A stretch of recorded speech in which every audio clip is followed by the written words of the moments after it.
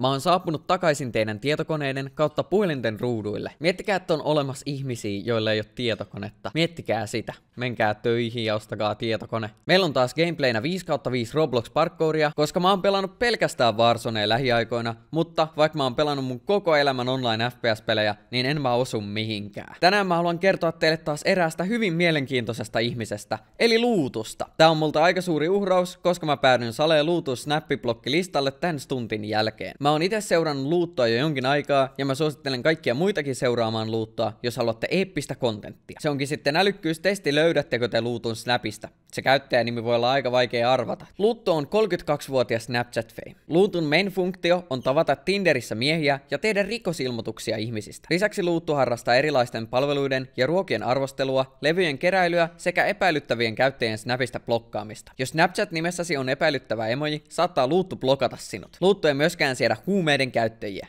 Jos mä oikein muistan, niin Luuttu teki kerran jostain rikosilmoituksen, kun sen sähköpostiosoitteessa luki 420. Ihan varmasti siellä My Storyssa oli ainakin valitusta siitä hassusta numerosta, mutta mä en muista päätyykö se rikosilmoitukseen. Luutulla on ollut monta erilaista keissiä, jotka yleensä päättävät siihen, että Luuttu tekee rikosilmoituksen. Tuleeko tästäkin videosta yksi kase? Se selviää ehkä. Ei olisi mitenkään eka kerta, kun mun videosta tehdään rikosilmoituksia, mutta onneksi mä oon kristitty koulupoika, eikä niistä ole koskaan tullut mitään tuomioita. Eräs mun kavereista on ollut Luutun kuuluisassa LV-keississä mukana. Selvitetään, mistä tässä oli kyse. Moi LV-mies. Terve, terve. Selitä LV-case. Mikä oli LV-case? LV-case oli siis se, että oltiin tuolla Jisun Discord-servulla puhumassa. Sitten tuli semmoinen hauska idea, että pitäisikö lisätä luutto Snapchatissa. No lisättiin sitten luutto Snapchatissa ja soitettiin sille ja luuttuhan vastasi. Ja siinä luuttu 15 minuuttia avautui sen kaikista elämän ongelmista ja pomokeisista sun muista. Ja mä siinä vaan nyökkäilin, että juu, Juu, en siinä oikein paljon puhunutkaan paljon puheenvuoroja saanutkaan. Sen jälkeen lopetin puhelun ja Luuttu päivitti somensa, että nyt on löytynyt todella empaattinen nuori mies, johon hän on ehkä ihastunut. Sitten omistin nälkäpäivän siihen aikaan ja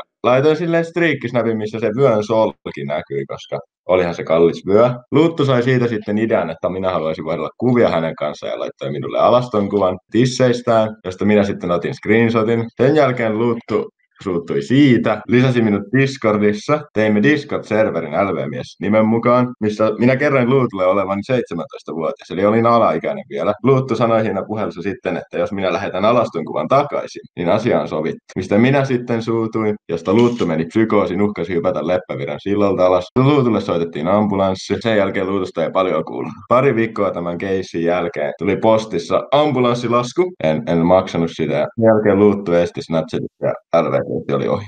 Vitu Jonne.